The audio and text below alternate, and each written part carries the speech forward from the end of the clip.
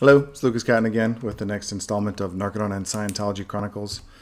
And in this video, I want to talk about actually a, a different, little known incidence of, um, of a celebrity going to a Narconon program. And this person, Mackenzie Phillips, actually went to Narconon, Louisiana. So Narconon Arrowhead for in Oklahoma for a long time was the um, you know the showpiece. That's where Scientology celebrities uh, who either themselves or their friends or family members who had substance use problems would go to and, and things like that. Well, uh, over the years, Arrowhead, as, as it got bigger, their even own internally tracked results and statistics continued to plummet down to the point where they had at one point a retention rate of below 50%.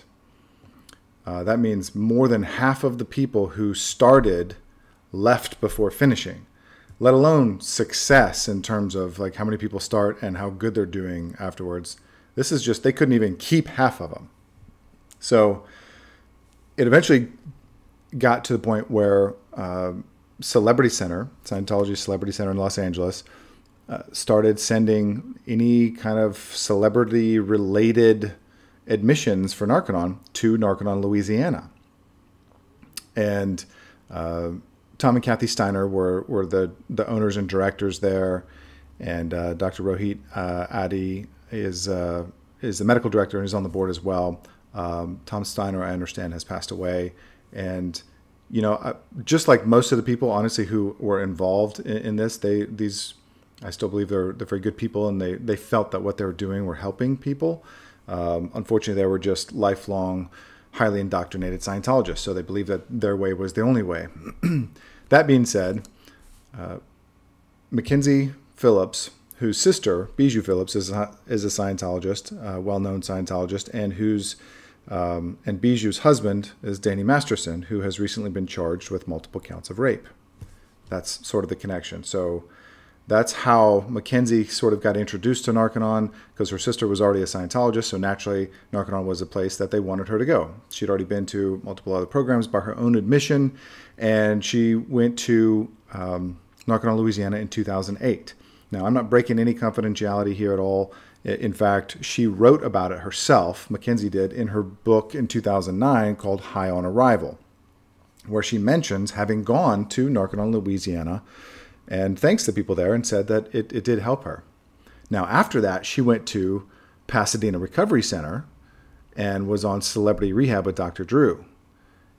And uh, I'll get to that in a second. But in her book, uh, she, you know, she mentions going to Narconon, and so at the time I was still helping them, and I was actually doing uh, some specific consulting with Narconon of Louisiana, and I was helping them craft a press release announcing you know, that she's got this big book, trying to get some coverage for it. You know, she was appearing on Oprah at the time because she had a bombshell, um, you know, statement in there about uh, abuse from her father and, and, things like that, and using drugs as a young child and, and with him and and other salacious things, and so I helped them craft this press release, which is still up online today. If you type in Mackenzie Phillips and Narconon, you'll see this press release on PR Web and, and on Narconon Louisiana or NarcononNewLifeRetreat.com. Um, you'll see this press release up there that, that, that I helped them write back then.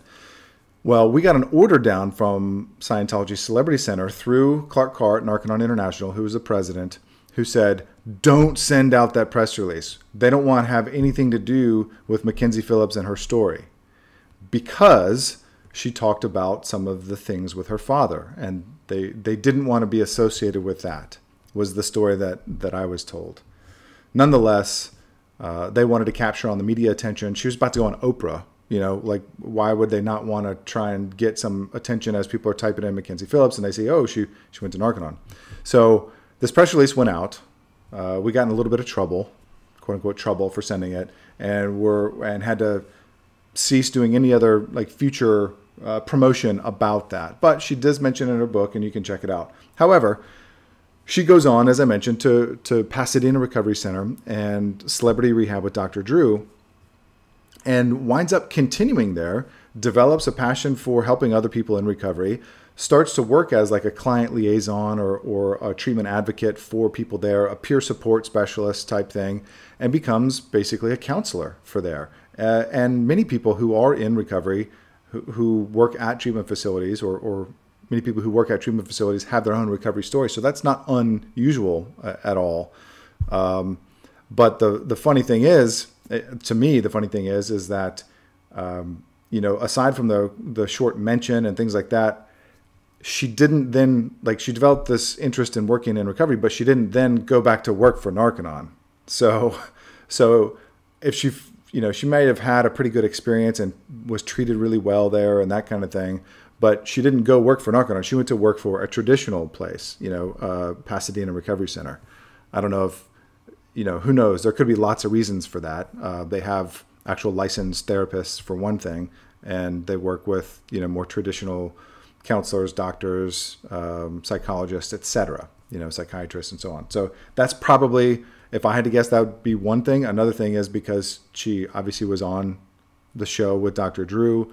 Uh, she wound up doing subsequent, uh, I think, you know, like a reunion show with that. But she stayed a- attached to that for a long time. May even still be to some degree. I'm not sure. I think she's on. She's been doing some other acting again.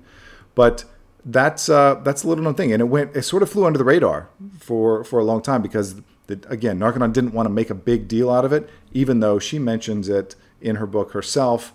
Um, I I don't remember if she mentioned it when she went on Oprah, uh, but uh, it, it, sort of was very little known. But if you if you start doing some searches on it, you will find out. You'll find tons of stuff of, of her at Pasadena Recovery Center. You only find a couple mentions, like on a Scientologist message board and the press release that we sent out from Narconon, Louisiana back then. So there you go. That's uh, that's the next little uh, story for the Narconon Scientology Chronicles. Mackenzie Phillips went to Narconon, Louisiana. Till next time, take care.